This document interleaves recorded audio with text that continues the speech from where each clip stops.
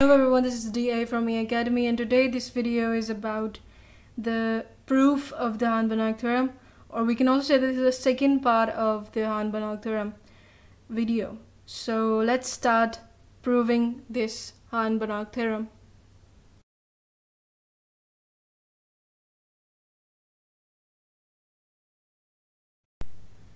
So the very first thing that we have to see is that here the U that is a subspace or we can also say that a subset. So U must not be equal to V. Here U is is subset of V and in the theorem we say that U is subspace of V and the relation that F naught is a function from U to R. This is a field element because we are proving this Hahn-Banach theorem in in that real space that is why the field is taken the real space here so the u is strictly a subset of v when we're talking about that. It is a subspace of v because if u is equal to v if u is equal to v then it is as trivial just by we, we just have to apply the definition of the extension or extension functional on f naught. So the first thing is that u is not equal to v. Now we will proceed the proof. The second thing is that we have a target of taking that f naught to that p that we are we are going to extend this functional f naught such that uh, the function we are looking for a function which gives the same values uh, that is less than p of x but taking the values for all x and v. So we have to do this on, on u, that is subspace of v. We will not apply this on u and then arbitrarily from u to suddenly whole v. We will looking for a space that is larger than u and less than v and then for that larger than larger than that space and so on till we will reach that space v so now the target is to looking for a space that satisfy the property of extension uh, for every element of within that space. And then we will proceed that to whole space v so the very first step is of looking for a space V1 that is larger than U but that is less than V and not equal to V so that we can talk about the elements of U and outside from U that in within V. So let's take an element uh, from V1 or let's say outside from from U. So name it z so let we have an element z that is from u that is from v outside from u and the elements of v1 that have con that have an element of of that must have an element of u as well and other elements that are not in u but in v so we will make the set v1 as we have an element x plus alpha z. Why we are making elements of such type x plus alpha z? Because we are looking for the elements of u and outside from u without violating the condition that function f naught of x gives the values or images of f, naught of x is less than p of x for all the elements that are taken from u. So now we have v1 x plus alpha z where x is taken from u obviously and alpha is the field element or we can also say that it is taken from R. Now we have to check that whether V1 is the it's the right choice or not by looking that it is a linear functional or it is true that this V1 satisfies the extension property or the majoritism property. Now let's work on this set but before going to this we have to we have to define a function on this v1 space because from v we have a function p that gives the images uh, that gives images in r we have f naught as a function from u that gives images of u in R. Now we have a function, we must have a function from v1 to r and we will name that f1. That is a function from v1 to r and now we're looking at the image of the elements of v1 because if we are looking the values let's okay let's take an element of from v1 that is x plus alpha z. And this must be equal to f1 of x plus f of alpha z because now because x is taken from u and u is an element u have a function f uh, we are defining the function f naught from u. So f1 of x is just as f naught of f naught of x plus f of alpha z now we must have to extract the alpha out from that function f1 so f1 or z f1 on z the image of z with f1 is indeed a real number because we are looking here. So we'll name it that a. So we have named that image f1 of z that a. So we have f1 x plus alpha z is equal to f naught of x plus alpha a where a is equal to f1 of z and a is any real number.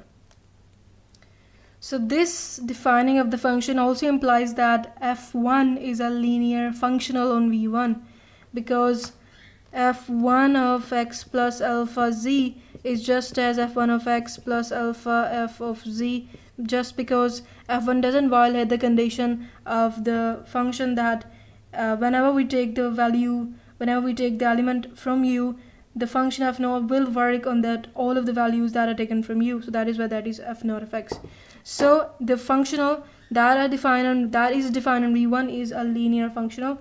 Now we will looking forward we will check it that whether it is also true for the extension property as a whole uh, with respect to that functional p that is defined in v. That is our target is that functional f1 that is defined on v1 is less than or equal to p that is defined on v. So we will prove this that if this is true if this is true then we have uh, f naught that is extended to that space v1 in the um, in the shape of f1 so let's talk about this side.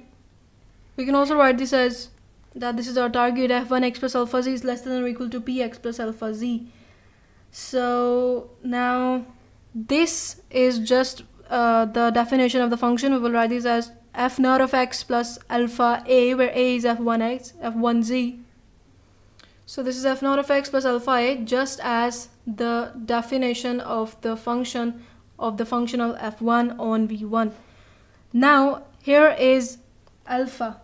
Alpha is any possible real value that is from the field element so alpha have both possibilities of greater than 0 of less than 0 so let's discuss the case when it is greater than 0 firstly we'll divide both sides by alpha.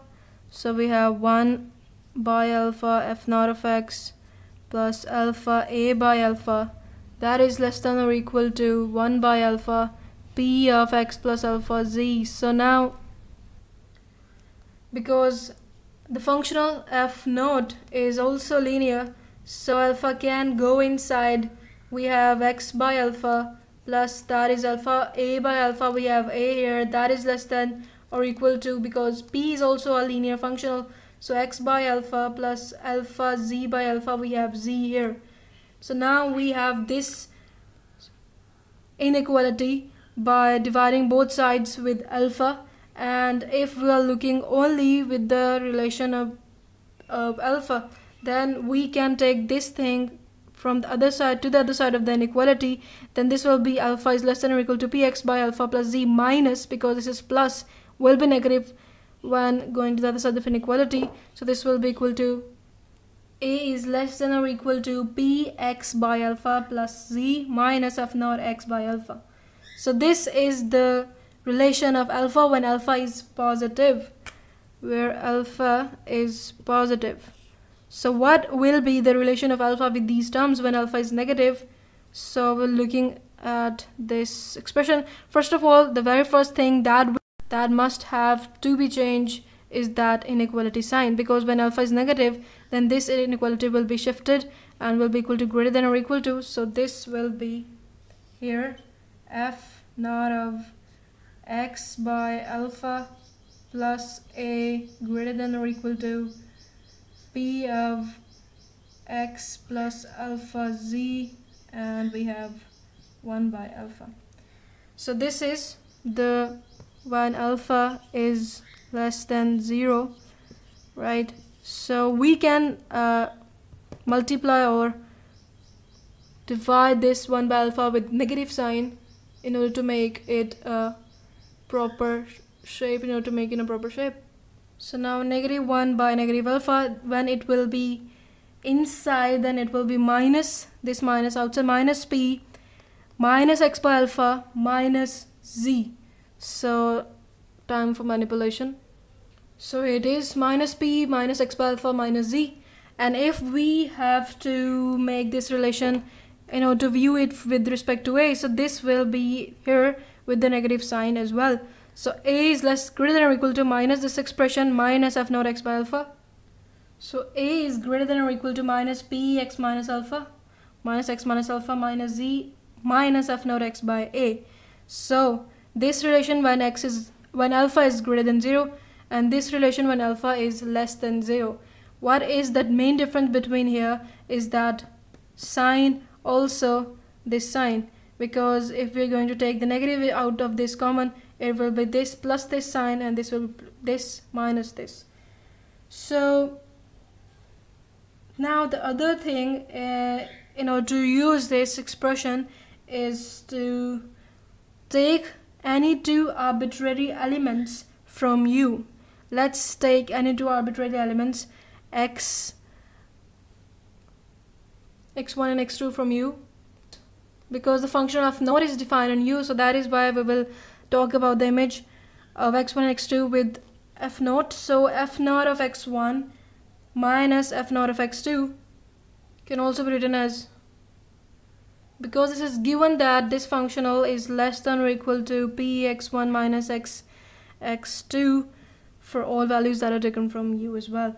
So this is now we add and subtract that element z that are taken from that are taken from yes v1 so this will be equal to px1 plus z minus z minus x2 so we'll make a pair of x1 plus z and taking the minus sign from it and this is x plus uh, x2 plus z. So this will be less than or equal to by triangular inequality. Px1 px1 plus z plus p of minus z minus x2 so p of minus minus z minus x2 this is by triangular inequality. We have to make pair of that f naught and p. So this is the positive one. So we will have f naught of x1 with okay we will make a pair with p of we have to make the pair of x2 with x2 that is inside. So minus f naught x2 minus p of minus z minus x2 that is less than or equal to p x plus z minus f naught x1 here why we are doing this? Because we are looking for the supremum and infimum in order to talk about the majoritism condition or the extension condition. So we will put the because this whole thing this whole thing is less than or equal to this whole thing then the supremum of this whole thing must also be less than the infimum of this whole thing.